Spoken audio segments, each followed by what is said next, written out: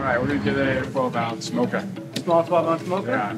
A modest drink? You can mock me for it. Hey, It's I, mock I don't judge. I don't judge. If you watch a lot of cable news, you might recognize this guy. I see him Almost every morning. I'm sorry. California Congressman Eric Swalwell is best known for his constant TV appearances attacking President Trump for his supposed ties to Russia. We have a really bad kid at the White House. Now, Swalwell's trying to use that notoriety in a bid for president. But in a field of 21 Democrats, being a cable news darling isn't enough. So he's in Iowa trying to get his name out there to everyone else. How long did it take you to get to that point where you were comfortable in sticking out your hand and making that introduction?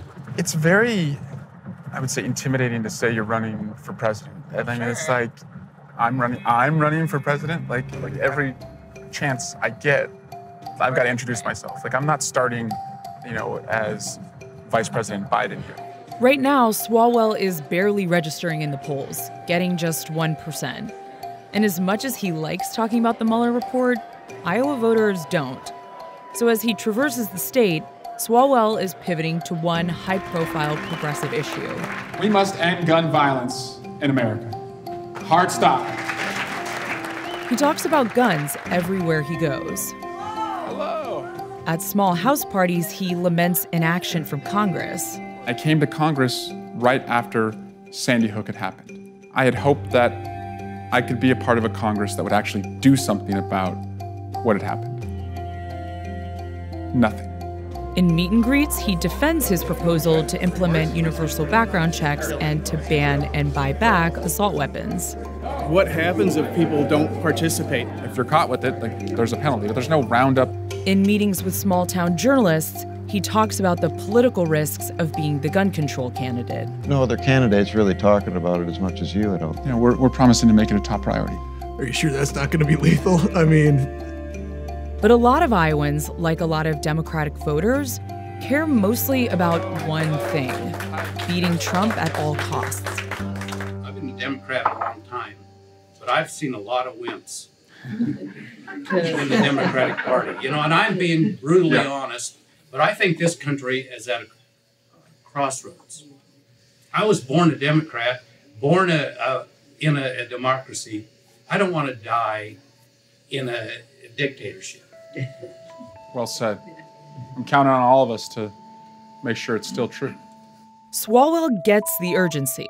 So when he's not talking about guns, he's assuring voters that his coastal progressive views don't blind him to the needs of Trump voters.